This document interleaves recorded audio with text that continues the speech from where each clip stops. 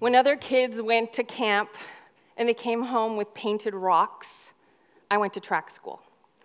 And my idea of the perfect day was running up and down stadium stairs in the blistering heat, exhausted, knowing that was only the warm up. As far back as I can remember, I was an athlete. Sports was just always part of my DNA. I like to tell people I came into this world holding a basketball in one hand and a baseball in the other. It's just who I was. In 2011, I was super excited to be preparing for my first 5K run. Although I'd always been athletic, I never liked jogging at all. But I got to a point where I learned to love it. I discovered that runner's high that I had always heard about but could never get at, and I fell into it and I loved it.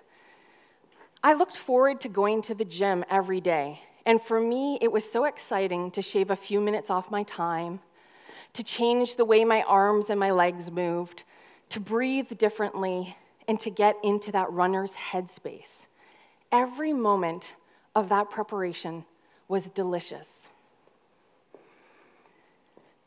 And then one day, five minutes into my routine run, I lost all energy and I flew off the end of the treadmill slammed right into a wall.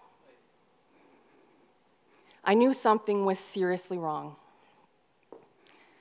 What should have been a five minute walk home turned into an almost two hour ordeal, and I found myself collapsed on a curb on a quiet side street in a torrential downpour, and not one person walked by, not one car walked by. I tried to get the energy to reach into my backpack to get my phone to call 911, but I couldn't do it. And by the time I finally made it home, I found myself crawling on my hands and knees across my kitchen floor.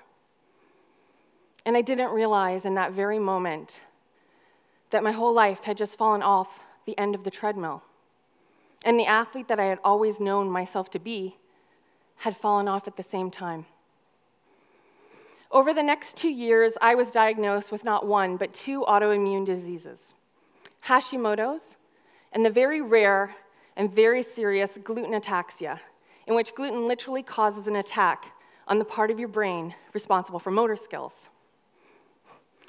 Forget that 5K run, was way over here. My body didn't remember how to walk or move properly and forget those regular visits to the gym. I couldn't get my running shoes on a lot of days or even do up the laces. Push ups, forget it. I had no strength or feeling in my arms, and when I did, I was in excruciating pain. Everything I knew about myself as an athlete moved further and further away.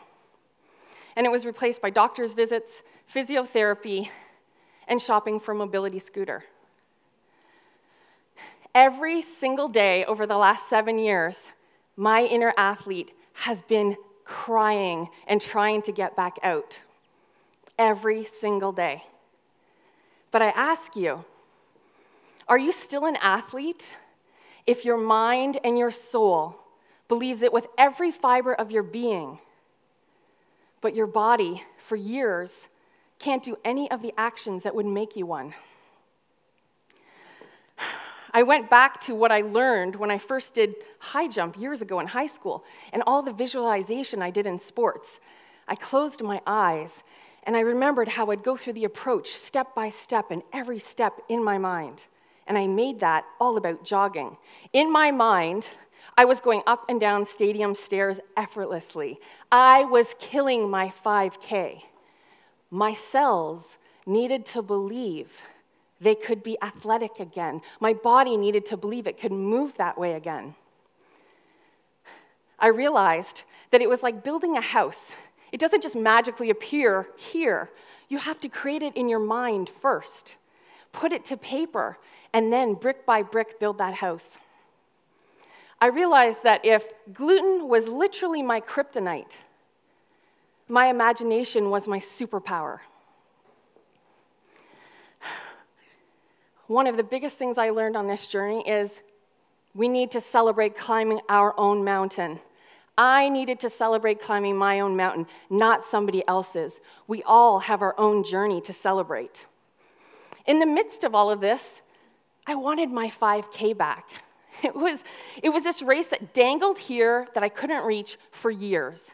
And one day I decided I'm reclaiming it. I called up a gym and I said, I have a big race coming up. Uh, I'm reclaiming my 5K, and I want to know if you'll sponsor me. What? so this is what I propose. Can you let me use your facilities and your treadmills? And I plan to walk one kilometer every single day for five days. And at the end of it, I will have won my race. Yeah, we're in. Good. I contacted clothing companies. I'm doing this really big race, and I wonder if you'd be my race outfit sponsors. Two companies came on board and gave me clothes. And I went to the gym, I pinned a number on myself, and every day for five days I walked and I reclaimed my 5K. Whatever it is, just start. Wherever you are at, just start. This year, I started a fitness ball class without the ball. And this year, I'm crushing my 5K on an electric bike. My name is Liis Windischmann, and I am an athlete.